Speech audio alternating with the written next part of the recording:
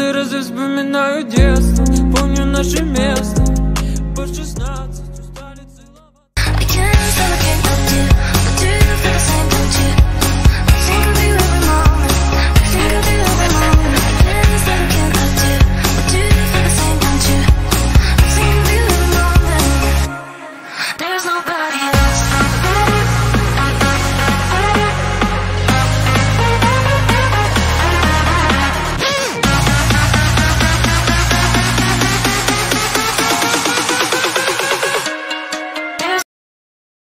hello everyone welcome back to my YouTube channel तो आज है हमारे पास जो रॉयल इनफील्ड न्यू लॉन्च हुई है क्लासिक रीबॉर्न जिसके एडवर्टाइजिंग पे था क्लासिक रीबॉर्न सो इस, आज इसके बारे में बात करते हैं क्या क्या चेंजेस हुए हैं और क्या क्या इम्प्रूवमेंट हुए हैं इस रॉयल इनफील्ड में क्लासिक में 350 में. तो बात करते हैं फ्रंट से, इसमें क्या क्या चेंजेस हुए हैं. ऑलमोस्ट ज़्यादा अगर आप ऐसे देखोगे सामने से ही एक नज़र में तो कुछ ज़्यादा चेंजेस नहीं लगेंगे इस बाइक पे. जो पहले की क्लासिक थी सेम वैसे ही रखी गई है, कुछ ज़्यादा ही चेंजेस नहीं है। अगर आप ध्यान से देखोगे, तभी समझ में आएगा कि क्या क्या चेंजेस हैं। तो फ्रंट से बात करी जाए तो हेडलाइट थोड़ी सी चेंज है। मतलब हेडलाइट का शेप चेंज नहीं है। यहाँ से जो कनेक्शन था मतलब जो जुड़ता था, इसके सस्पेंसन्स पे वो थोड़ा सा चेंज हुआ है। बाकी इंडिकेटर थोड़े से स्लीक हुए हैं, थोड़े से छोटे हुए हैं। और जो बल्ब सेक्शन था, वो सारा का सारा हेलोजन ही है, जैसे पहले था। और बाकी सबसे इंपॉर्टेंट चीज़ जो इसमें अपडेट होनी बहुत ही ज़्यादा ज़रूरी थी वो था इसके मीटर में, ये फ्यूल गेज। सो ये काफ़ी सही चीज़ दे दी गई है, नहीं तो पता ही नहीं चलता था कितना फ्यूल है, कितना नहीं। और, यहाँ स्विच गियर्स थोड़े से चेंज करे गए हैं, जो कि जैसे मेट्योर में आने लगे थे, वैसे ही आने लगे हैं अब इसमें भी। बाकी ब्लूटूथ कनेक्टिविटी नहीं है, और एक और इंपॉर्टेंट चेंज जो कि काफ़ी अच्छा करा गया है, ये यूएसबी सॉकेट यहाँ पे है। ये यहाँ पे। नीचे साइड है तो इसमें पानी वानी जाने का भी कोई ख़तरा नहीं है। बाकी इधर से बात करी जाए इस साइड से तो यहाँ कोई चेंजेस नहीं है। बस जो इसके पैनल थे जिनमें गैप्स वगैरह थे, इधर ये प्लास्टिक फिल कर दी गई है। मतलब एक तरीके का कवरिंग टाइप लगा दी गई है, बाकी और कोई चेंज नहीं था। और रही बात सीट की बात करें तो सीट पहले से काफ़ी ज़्यादा कंफर्टेबल हो गई है। बहुत कुशनिंग काफ़ी अच्छी कर दी गई है सीट पे। जैसे कि मीटियोर अगर आपने चलाई होगी तो मीटियोर की सीट काफ़ी अच्छी है। और जो क्लासिक आती थी पहले उससे तो काफ़ी ज़्यादा ही अच्छी थी। उसी तरह इसकी भी सीट कर दी गई है। बाकी रेयर साइड पे चेंजेस की बात करी जाए तो रेयर सेक्शन में ये ब्रेक लाइट चेंज हुई है।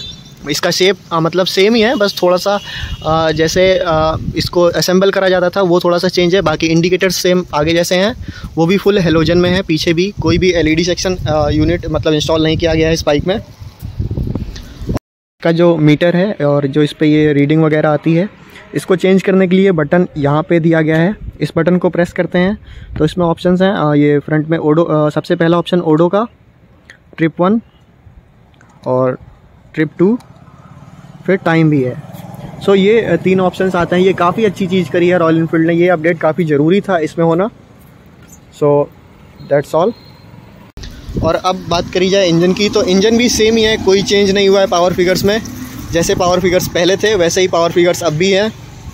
तो इसके इंजन कैपेसिटी की बात करी जाए तो 349 सीसी का इंजन है।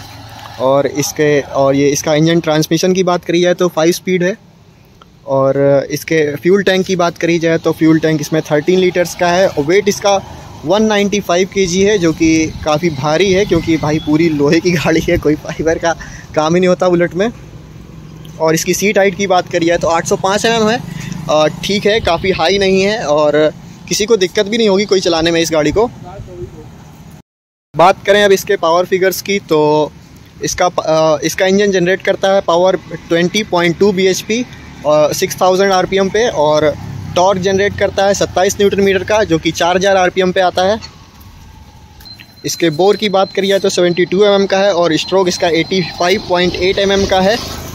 दो स्पार्क प्लग्स मिल जाते हैं आपको इस बाइक में। एफआई के साथ आती है ये बाइक और इसके टैंक के हिसाब से जैसे तेरह लीटर का टैंक है, उस हिसाब से इसकी राइडिंग रेंज एक फोर फिफ्टी फाइव किलोमीटर्स की है।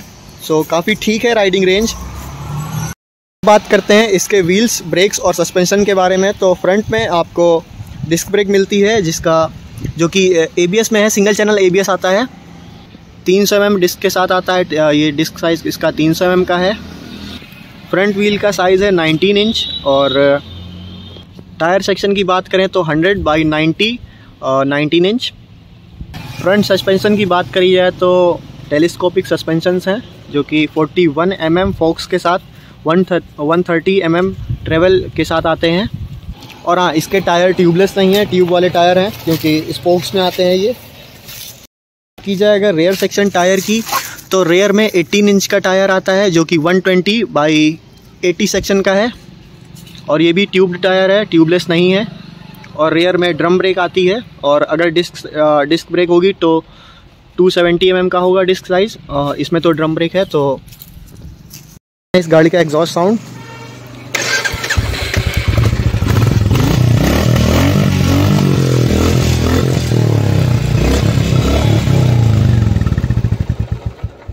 काफ़ी बेसी एग्जॉस्ट साउंड है जो कि जैसे पहले आती थी सेम वैसे ही है लेकिन काफ़ी बेसी हो गया एग्जॉस्ट साउंड इसका अब।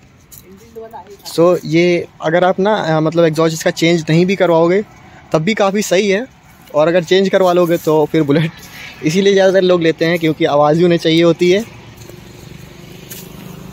जो इसमें वाइब्रेशंस थी ना मतलब जो पहले वाले क्लासिक में वाइब्रेशंस थी वो काफ़ी हद तक कम कर दी गई हैं। अभी फ़िलहाल मैं गोप्रो तो नहीं लिया था ये वीडियो फ़ोन से शूट कर रहा हूँ।